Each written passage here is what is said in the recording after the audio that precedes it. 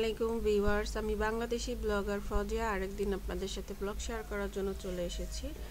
আশা করি আমার ভাই ও বোনেরা যেখানেই আছেন, বা দেশে বা দেশের বাহিরে, সবাইকে জানাব রমজান মোবারক। আর আলহামদুলিল্লাহ, আজকে তো প্রায় চোদ্দ রমজান হয়ে গিয়েছে। দেখতে দেখতে রম, চোদ্দ রমজান কিন্তু চলে গেল। তো লকডাউনের মধ্যেও রমজানগুলো বেশ ভালোই কেটেছে। আলহামদুলিল্লাহ, আল্লাহর কাছে শুক্রিয়া। যতই শুক্রিয়া করব, ততই কম। তো সকাল থেকেই আজকে ব্লগটা শেয়ার করেছি। ফালাককে ঘুম থেকে উঠিয়েছি প্রায় বাজে এগারোটা। ফালাক উঠতে চাচ্ছিল না তারপরও। তো ক্যামেরা ধরেছি, দেখে তাড়াতাড়ি উঠে গেল। আর তার সাথে ওকে ফ্রেশ করিয়ে তারপর গিয়ে রোজা রয়েছে ফালাক।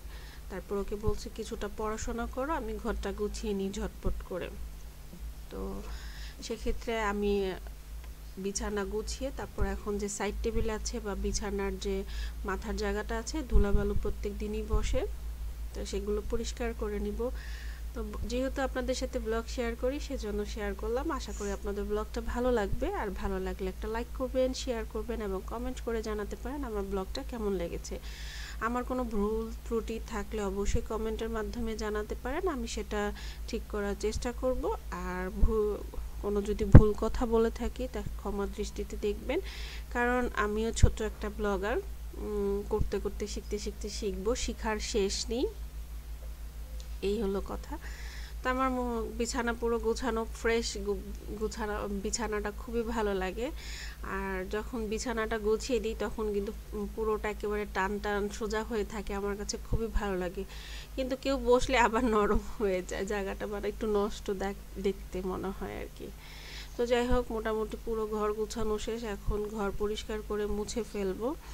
তো ফালাককে যে লিখতে বসিয়েছি, তো লেখার সময় ও দেখা যায় যে দুষ্টামি করে, রোজা রেখে রয়েছে। হয়তো বা পড়তে ভালো লাগে না, ওকে খেলতে খালি দিয়ে দাও।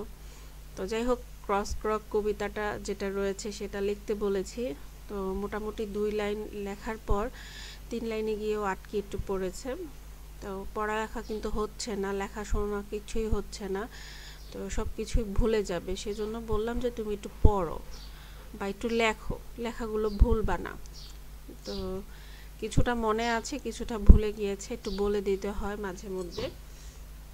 তো, আর স্কুলে যখন ছিল মানে এখন তো স্কুলে যাওয়া যাচ্ছে না বা বন্ধ, তো যখন স্কুল রানিংটা ছিল তখন কিন্তু বেশ ভালোই পড়াশোনা করে ম্যাডামের মনোযোগ ছিল। তো দেখেন লিখতে লিখতে কি করছে, এখানে ঘুমাচ্ছে, ওখানে শুচ্ছে সোফায় শুয়ে যাচ্ছে, এই অবস্থা চলতেছে।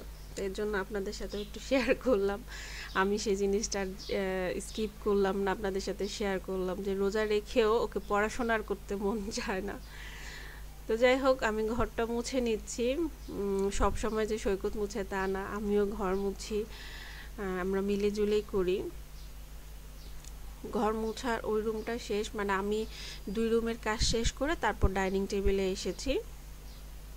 কারণ ডাইনিং টেবিলটা ঝাড়ু দেওয়া শেষ হয়ে গিয়েছে, কিন্তু ডাইনিং টেবিলটা আমরা যে আগের দিন ইফতারি করেছিলাম, অনেক ময়লা হয়ে গিয়েছিল। তো ভাবলাম যে ক্লিনজার দিয়ে পরিষ্কার করতে হবে। সেজন্য পুরোটা ক্লিনজার দিয়ে আমি একটু রেখে গিয়েছিলাম।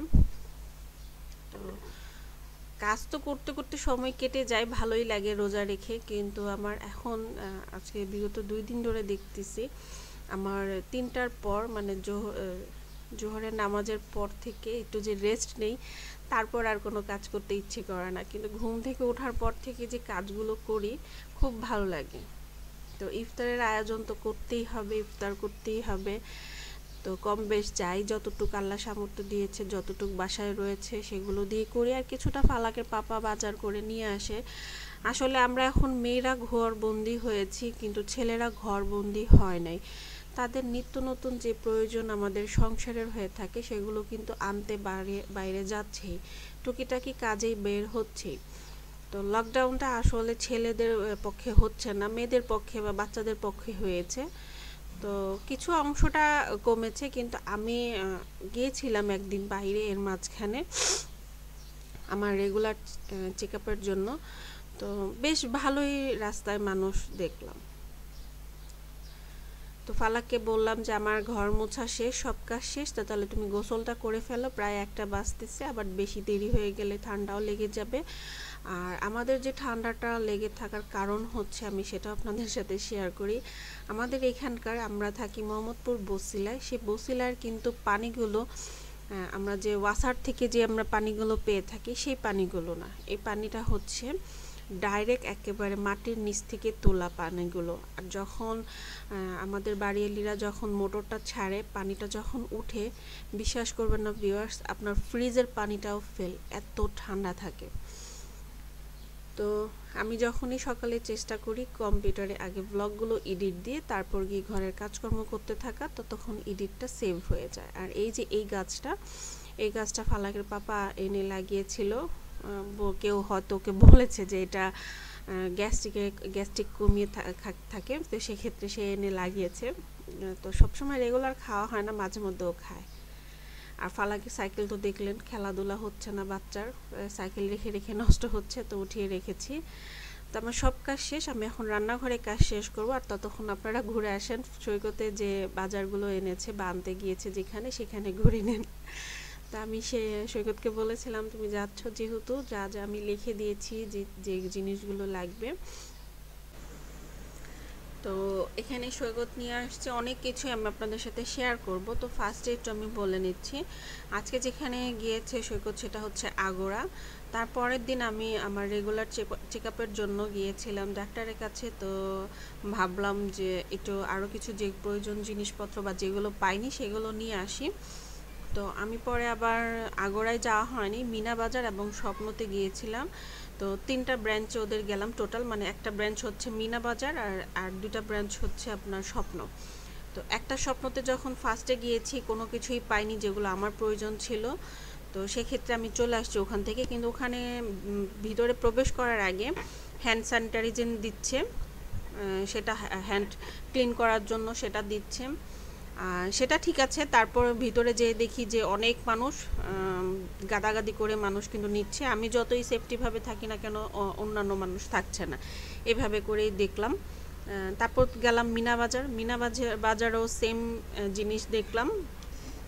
শেষে গেলাম স্বপ্ন আবার স্বপ্ন ব্রাঞ্চে তো সব মিনা বাজারে কিছু প্রোডাক্ট পেয়েছি আর কিছু স্বপ্নতে স্বপ্নতে আবার শেষে যে ব্রাঞ্চে গিয়েছিলাম, সেটা হচ্ছে টাউন হলের ওখানকার।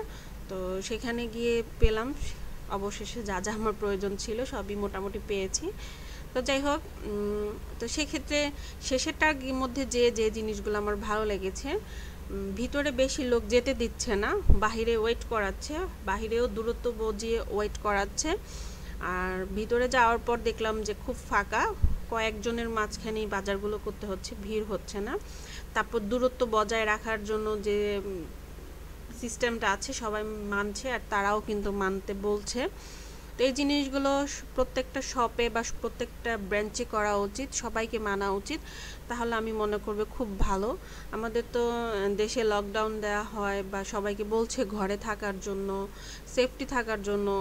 তো আমি মনে করি আমরা মেয়েরা তো সেফটিভাবে থাকছি, কিন্তু ছেলেরা ছেলেরা তো পারছে না। কারণ ছেলেদেরকে নতুন আমাদের যে জীবনযাত্রায় যা যা প্রয়োজন হয়ে থাকে প্রত্যেকটা দিন তারা তো সেগুলো আনতে যাচ্ছেই কাজে বাইরে অনেকে বের হচ্ছেই। তো এই আর কি, এভাবে করেই ছেলেদের লকডাউন চলছে, বাহিরে ঘরে বাহিরে ঘরে করেই। সৈকতকেও মোটামুটি বাহির ঘর করতেই হয়। তো এখানে ফালাকের জন্য কিছু জুস আর চিপস নিয়ে আসছে। তো সেগুলো আমি আপনাদের সাথে শেয়ার করে সাথে সাথে কিন্তু বেসিনে নিয়ে নিচ্ছি। আর আমার রান্নাঘরের পুরো কাজটা শেষ হয়ে গিয়েছে। কাজগুলো শেষ করার পরই সৈকত আসছে, খুব ভালো হয়েছে। সেক্ষেত্রে আমার জন্য একটু সুবিধা হয়েছে যে এখন যে প্রোডাক্টগুলো এনেছে, আমি পুরোটা প্রোডাক্টগুলো সাবান দিয়ে ধুয়ে পরিষ্কার করে যেখানকার জিনিস সেখানে উঠিয়ে রাখতে পারব। আমি এখন আপনাদের সাথে প্যাকেট খুলছে। আমি শুধুমাত্র হাত দিয়েছি। ফালাককে হাত দিতে দেই না, ওকে বলি যে চলে যাও তুমি বাইরে বা অন্য রুমে। তো তো সেটা করে না, ও বাহিরে থেকে মানে একটু রান্নাঘরের বাহিরে বা ভিতর থেকে দাঁড়িয়ে দাঁড়িয়ে দেখবে। আর আমি কি করছি, না করছি, সব সময় তো আমার সাথেই থাকে। একসাথেই আমরা মা, মেয়ে, একসাথেই সব কাজকর্ম করা হয়। যেগুলো কাজ চেষ্টা করে যে, আম্মু, তোমাকে হেল্প করে দিই। অনেকটি কাজ আমাকে হেল্পও করে দেয়। তো যাই হোক, তো এগুলো কথা বলছি, আপনারা তো বুঝতে পারছেন কি কি এনেছে। তা আমি থাই স্যুপ এবং পিৎজা তৈরি করব। তো ফালাক বলছিল যে, পিৎজা খাবে। সেজন্যই আসলে অন্যান্য সব জায়গায় দেখতেছি কম বেশ সব আপুরাই পিৎজা বানাচ্ছে। ফালাক এই ব্লগগুলো বা সেগুলো দেখে ওরও আকর্ষণ আসছে। রোজা রেখে থাকে বাচ্চা মানুষ। তো পূরণ তো করতেই হবে আবদার। তো এখানে হালিম মিক্স তিনটা নিয়ে আসছে ফালা ফালাকের পাপা। কারণ সব সময় ও এই রমজান মাছটা হালিম খেয়ে থাকে, অনেক ওর পছন্দর খাবার একটা। কিন্তু এবছর সেভাবে ও খেতে পারছে না, বেচারা। রোজা রেখে মনমাতিক খাবার খেতে পাচ্ছে না পাচ্ছে না। এগুলো হালিম বিক্রি হচ্ছে, কিন্তু আমরা আসলে চেষ্টা করছি বাইরের খাবারগুলো ঘরে না আনাই, নিজে থেকে তৈরি করে নেওয়া। তা আমার আমি সব কিছু দেখাচ্ছি আর কথা কিন্তু বলছি। আর এটা হচ্ছে ইস্ট আর মরজিলা চিজ আনা হয়েছে। পিৎজা তৈরি করার জন্য আর কি। তো যাই হোক পেঁয়াজও শেষ হয়ে গিয়েছে, পেঁয়াজও নিয়ে আসছে। তো যেটা বলছিলাম, সৈকত হালিম খাওয়া পছন্দ করে। তো সৈকত নুরজাহান রোড আমার শ্বশুরবাড়ির ওখানে খুব ভালো একটা দোকান ছিল আপনার হালিমের। তো সেখান থেকে ও হালিম নিয়ে আসতো সবসময়, সেই দোকানটার খেত। আর আসলেও সেই হালিমটা এত টেস্টি বলার বাহিরে না খেলে বোঝা যায় না। ওনার হালিম শেষ হয়ে যায়। প্রত্যেক দিন যখনই আমরা সন্ধ্যার আগ দিয়ে যদি যেতাম ওনার দোকানে, তাহলে দেখা যায় হালিম পাওয়া যেত না। তাহলে যেতে হয় তিনটার পর পর, তাড়াতাড়ি যেতে হয়, তাহলে পাওয়া যায়, না হলে পাওয়া যায় না। এই অবস্থা। এত ওনার হালিমে সবাই পছন্দ করতো। তো বাকি যে জিনিসগুলো ছিল, আমি সেগুলো সব পরিষ্কার করে রেখেছি এখানে কাঁচামরিচটাও বেঁচে রেখেছি। বোটাগুলো ফেলে রেখে দিব আমি। আর এখানে কিছু জিনিস বলব, তো এখানে সৈকত আমাকে ভিডিওটা তৈরি করে দেওয়ার জন্য হেল্প করেছে। আর এখানে প্রাইসটা আছে দুইশো পঁচিশ টাকা, একটু ঘোলা হয়ে রয়েছে, তারপরও ক্লিনভাবে দেখা যাবে। তো আজকে এটা দেখানোর কারণ হচ্ছে যে, আমরা ফার্স্টে দেশি যে আমাদের দেশীয় প্রোডাক্ট আমরা সেটা ইউজ করব, তাই না? তো আমরা সেটাই করেছি। তো সেটা করেছি তো কি লাভ হয়েছে? আমাদের দেশীয় মানুষের মধ্যে অনেক প্রবলেম আছে। তো এত কথা আমার বলার আর দরকার নেই। আমাদের দেশীয় প্রোডাক্ট কখনোই দেখবেন না খুব একটা ভালো কোয়ালিটির হয় বা ভালো কাজ করে। সব দুই নাম্বার। রাগ করেই আমি বলছি কথাটা, কারণ আমার এত রাগ লাগে মাঝে মধ্যে। কারণ আমরা যখন দেশেটা কিনে নিয়ে আসছি প্রাইসও কম। সেক্ষেত্রে বাসায় এসে ইউজ করে দেখলাম যে মশা তো যায় না, শুধু সুগন্ধ একটু ছড়ায় বাস এতটুকুই। তো আমরা যে জিনিসগুলো কিনলাম, কিসের জন্য কিনলাম? মশা দূর করার জন্য, তাই না?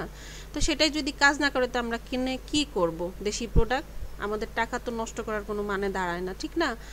আর এটা হচ্ছে ইন্ডিয়ানটা ইন্ডিয়ানটা এর জন্যই আনা হয়েছে। ইন্ডিয়ানটা আমরা এর আগেও ইউজ করেছি, কাজ করে ভালো। এবং এটাও এনে কাজ ইউজ করে দেখছি, কাজ করছে ভালো। ইউজ করলে মশা থাকে না। আমরা দেখা যায় যে সন্ধ্যার পর জাগনা থাকছি, এগারোটা পর্যন্ত বা দশটা পর্যন্ত মশা ধরে, তখন তার মশারির নিচে বসা যায় না। তখন এই মটিনগুলো ইউজ করতে হয়। তো সেক্ষেত্রে দেখা যায় যে ফালাকেও পড়াশোনা করতে বসতে হয়। তারপর দেখা যায় আমরাও কম্পিউটারে বসি। তো মশার জ্বালায় কিন্তু বসা যায় না। মটিনগুলো ইউজ করলে সেক্ষেত্রে হয়। বা কয়েল ইউজ করা যায় বা কখনো কয়েলও ইউজ করি। সব কিছুই আছে, যেটা যখন প্রয়োজন হয় সেটা ইউজ করি। তো এটাই বলব আমাদের দেশীয় লোককে যে লাগলে আপনারাও দুই টাকা বেশি নেন, কিন্তু ভালো প্রোডাক্ট দেন। আমরাও চাই দেশের প্রোডাক্ট ইউজ করার জন্য। দেশের বাইরে প্রোডাক্টগুলো ইউজ করতে আমরাও আগ্রহী না। তো এটা আমি এর আগে ব্লগে দেখিয়েছিলাম, ডাল ব্লেন্ড করে রেখেছি। সেই ব্লেন্ডার সেই ডালগুলো এখন আমি পেঁয়াজও বানিয়ে নিচ্ছি। শুধু লবণ এবং পেঁয়াজটা আমি এখন চটকে এটার সাথে মাখিয়ে ভেজে নিব। খেতে অসাধারণ হয়েছে, অনেক মজা হয়েছে। কারণ আমি বানিয়েছি দেখে। তা না, আসলেই ট্রাই করে দেখতে পারেন তারপর কমেন্ট করে অবশ্যই জানাতে পারেন। আর অনেকের টেস্ট অনেক রকমের হয়, তো অনেকের ভালো নাও লাগতে পারে, এটাও ঠিক। তো এখানে কিন্তু খুব সুন্দর কালার চলে এসেছে। পেঁয়াজুর মধ্যে আপনারা দেখতে পাচ্ছেন আর খুব মচমচা হয়েছে। আরেকটা জিনিস আমি আপনাদের জানিয়ে দিব। আমরা কিন্তু ডিপে কোনো জিনিস রাখলে বরফ হয়। বরফ হলে সেটা বের করলে পানি একটু ছেড়ে দেয়, তাই না? তো সেক্ষেত্রে আমরা সেক্ষেত্রে কি করব? আমাদের কাছে চালের গুঁড়ি থাকলে সেটা অ্যাড করতে পারব। চালের গুঁড়ি না থাকলে, বেসন থাকলে সেটা অ্যাড করব। সেটাও না থাকলে আমরা ময়দা অ্যাড করব। ময়দাও না থাকলে আটা তো থাকবে, আটা অ্যাড করতে পারব। তো অল্প কিছু অ্যাড করলেই সে পানিটা ব্যালেন্সে চলে আসবে। আর আজকে ইফতারির আয়োজনে খুব একটা ভেজাল নেই, ঝামেলা নেই। কলা সিম্পল কলা ছোলা করেছি পেঁয়াজু করেছি। আগের দিনে পেঁয়াজু চপ এগুলো ছিল, এগুলো মাখিয়ে আজকের ইফতারির আয়োজন করেছি। আর এটা হচ্ছে আটটা, নয়টার বাজে, একটু রেস্ট নিয়ে তারপর আবার রান্নাঘরে আসলাম। তো ভাবলাম একটু টক দই বানাই মিষ্টি দই বসাবো। সেজন্য আগে দই বীজ লাগবে, সেই দই বীজটা তৈরি করি, তারপর মিষ্টি দইটা বানাবো। তো যাই হোক, জানি না কেমন হবে রেজাল্ট দেখি। তো এখানে আমি পানি বসিয়েছি, দুই চুলা খাবারের পানি বলকাচ্ছে। তো তার নিচেই চুলার নিচে রেখে দিলাম, এখানে প্রচণ্ড পরিমাণে গরম। আর দইগুলো তো গরমের জায়গা রাখাটাই উচিত, তাহলেই দই হবে। আর এখন বাজতেছে প্রায় দশটা, সাড়ে দশটার মতো। সৈকত বলছে যে, ঠান্ডা তরমুজের শরবত খাব। আর না হলে দেখা যায় তরমুজটা রোজার রমজানের দিন ফ্রিজে রেখে রেখে নষ্ট হয়ে যাবে। তো সেজন্য তরমুজের শরবত বানিয়েছে আর তার মধ্যে গুঁড়া দুধ দিয়ে শরবতটা খাবে। মানে সৈকতের খাবার কখনো কখনো এরকম থাকে যে আপনারা দেখলে হাসবেন যে এইভাবে করে কেউ খায় নাকি। তো যাই হোক, ওর খাবারের মন চেয়েছে, আমরাও খাচ্ছি, সাথে খাব। তো ভাবলাম আপনাদের সাথেও শেয়ার করি। আর আজকের ব্লগটা ভালো লাগলে অবশ্যই একটা লাইক করবেন শেয়ার করবেন এবং কমেন্ট করে জানাবেন। আর অবশ্যই আমার চ্যানেলটাকে সাবস্ক্রাইব করে আমার সাথে থাকবেন। আপনারা সবাই ভালো থাকুন, সুস্থ থাকুন, আমার চ্যানেলকে সাবস্ক্রাইব করে আমার সাথে থাকবেন। ভুল ত্রুটি হলে ক্ষমা দৃষ্টিতে দেখবেন। আল্লাহ হাফেজ।